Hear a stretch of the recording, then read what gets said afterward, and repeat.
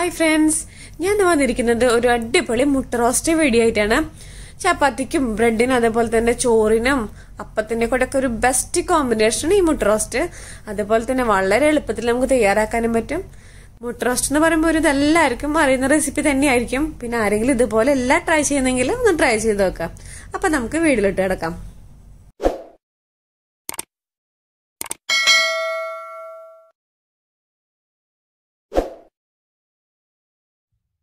അപ്പൊ മുട്ട റോസ്റ്റ് തയ്യാറാക്കാൻ ഞാൻ ഇവിടെ നാല് അത്യാവശ്യം വലിയ സവാള എടുത്തിട്ടുണ്ട്.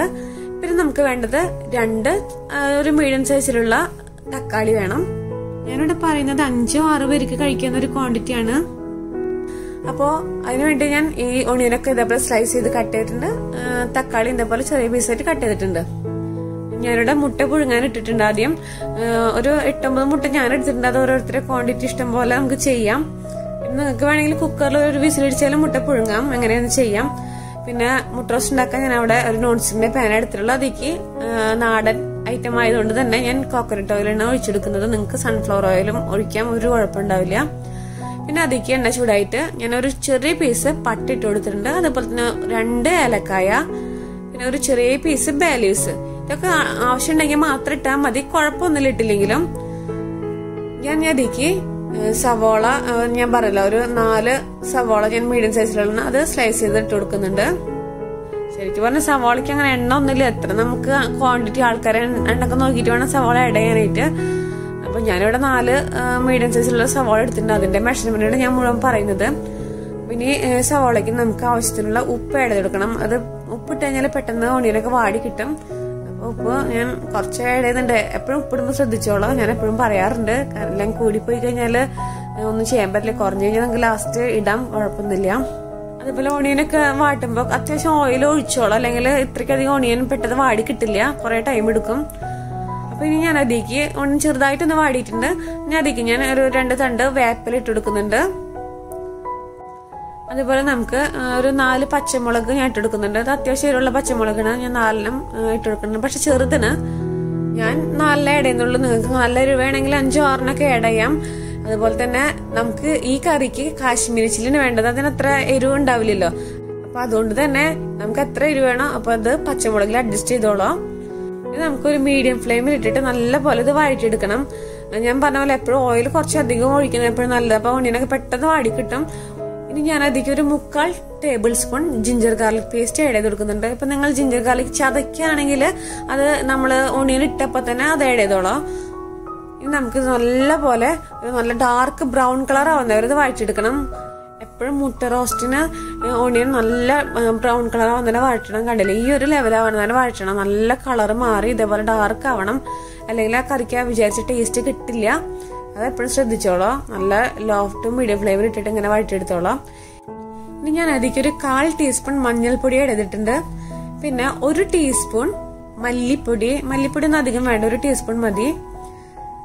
പിന്നെ ഞാൻ നേരത്തെ പറഞ്ഞ പോലെ തന്നെ കാശ്മീരി ചില്ലിയാണ് ഞാൻ കുറച്ച് അധികം ആഡ് ചെയ്യുന്നത്. പിന്നെ ഒരു ടേബിൾ സ്പൂൺ ആഡ് ചെയ്തു. നമുക്കത് പോരാ. നാലോണിയല്ല എടുത്തിട്ടുള്ളത്. അപ്പൊ ഞാനിവിടെ ഒന്നേ മുക്കാൽ ഒന്നേ മുക്കാൽ രണ്ട് ടേബിൾ സ്പൂൺ വരെ ആഡ് ചെയ്യാൻ കുഴപ്പമൊന്നുമില്ല.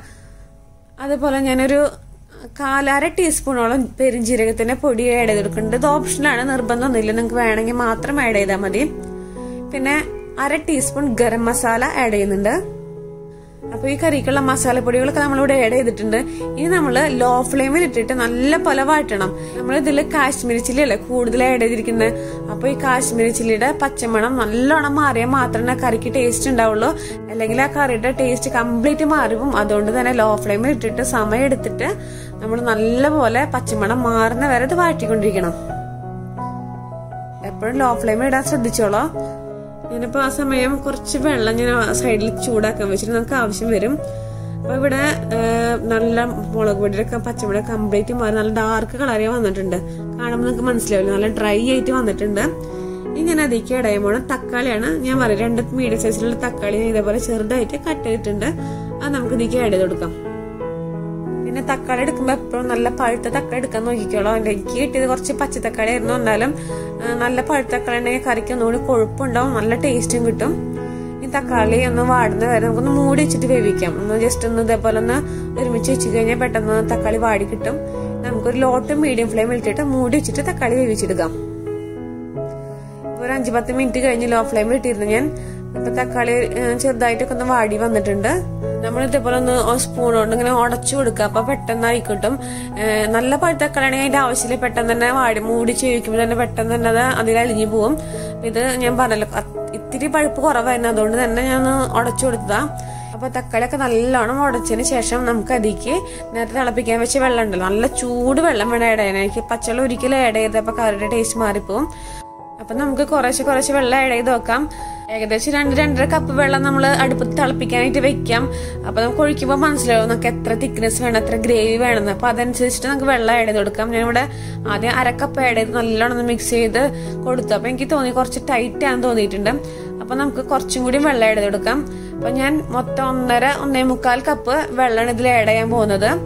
ഇപ്പൊ ഞാൻ ഒരു ഒന്നേകാൽ കപ്പും കൂടി ആഡ് ചെയ്തിട്ടുണ്ട്. അപ്പൊ നമ്മൾക്ക് എത്ര ഗ്രേവി വേണം അതുപോലെ എത്ര തിക്ക് എത്ര കൺസിസ്റ്റൻസി നമുക്ക് വേണം എന്ന് നോക്കിയിട്ട് വേണം വെള്ളം ചെയ്യാൻ. ഇപ്പൊ ആഡ് ചെയ്യുമ്പോൾ ഇത്തിരി കൂടിക്കഴിഞ്ഞാലും കുഴപ്പമില്ല നമുക്ക് അത് വറ്റിച്ചെടുത്താൽ മതി.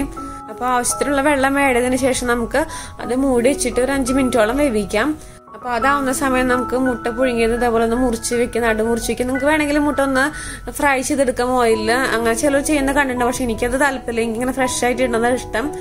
അപ്പോൾ കട്ട് ചെയ്യണമെങ്കിൽ കട്ട് ചെയ്യാം. അതുപോലെ നമുക്ക് ഓരോരുത്തരുടെ ടേസ്റ്റും ഇഷ്ടം പോലെ അങ്ങനെ ചെയ്യാം. ഞാനിവിടെ കട്ട് ചെയ്തിട്ട് ഇടുന്നുണ്ട് ചിലർ മുഴുവനായിട്ട് ഇടയും അപ്പോൾ അതൊക്കെ നമുക്ക് ഇഷ്ടം പോലെ ചെയ്യാം. എങ്ങനെയെങ്കിലും കുഴപ്പമൊന്നുമില്ല. കണ്ടില്ല? ഇപ്പോൾ ഒരു അഞ്ചാറ് മിനിറ്റ് കഴിഞ്ഞു. ഞാൻ മീഡിയം ഫ്ലെയിമിൽ ഇട്ടിട്ട് മൂടി വേവിച്ചപ്പോൾ അതിലത്തെ വെള്ളമൊക്കെ ഒരുവിധം വറ്റി ഈ ഒരു കൺസിസ്റ്റൻസി ആയി. എനിക്ക് മുട്ട റോസ്റ്റിൽ ഈ ഒരു കൺസിസ്റ്റൻസിയാണ് ഇഷ്ടം. മുട്ട റോസ്റ്റ് ആകുമ്പോൾ ഇത്രയും തിക്നെസ് പാടുള്ളൂ. അധികം വെള്ളം പാടില്ല. ഇനി ഞാൻ അതിക്ക് അര ടീസ്പൂൺ കൂടി ഗരം മസാല ആഡ് ചെയ്യുന്നുണ്ട്. നമ്മൾ നേരത്തെ അര ടീസ്പൂൺ ആഡ് ചെയ്ത് ഇപ്പോൾ അര ടീസ്പൂൺ കൂടി ഗരം മസാല ആഡ് ചെയ്ത് കൊടുക്കാം നമുക്ക് നല്ലപോലെ മിക്സ് ചെയ്ത് കൊടുക്കാം. അപ്പോൾ നിങ്ങൾക്ക് കുറച്ചും കൂടി ഗ്രേവി ചാറൊക്കെ വേണമെന്നുണ്ടെങ്കിൽ വെള്ളം അത്രയ്ക്ക് വറ്റിക്കാൻ നിൽക്കണം അതിന് മുമ്പ് തന്നെ നിങ്ങൾക്ക് ഫ്ലെയിം കുറച്ചിട്ടാൽ മതി.